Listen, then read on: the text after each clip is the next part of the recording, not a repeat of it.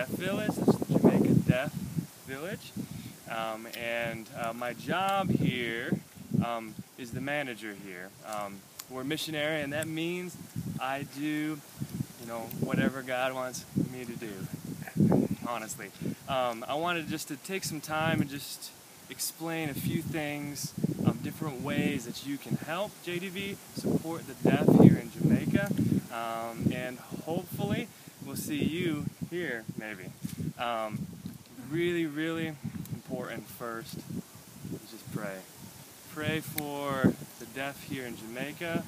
Pray for the church, deaf pastors, missionaries here, um, and then the work that we're doing here. So important prayer. Um, it's easy to say, yes, I'll pray, but honestly, really, prayer is good. Um, prayer powerful. So pray for uh, us here.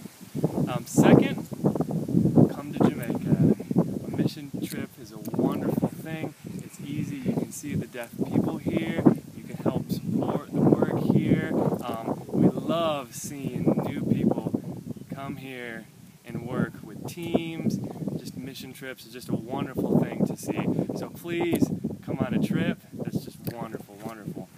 Third, have a few different ways to help um, just support, you know, with money, uh, different things.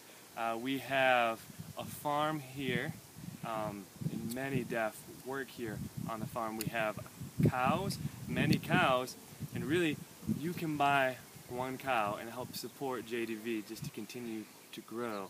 Um, it's simple, yes, but it's important and it can help JDV, can help the deaf and give more work here.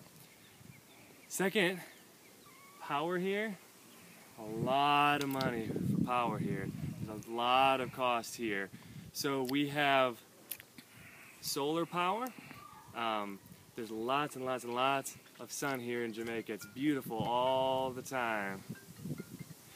Um, so you can buy solar panels and you can help support JDV. Let's see what else. Third, we have a shop. It's really a home shop at the church. Um, things just expensive. All of Jamaica really expensive because you know things have to travel on boats, travel here, they're sent here, airplane, different things. So we have a shop that helps support the deaf. We give good things for a good price.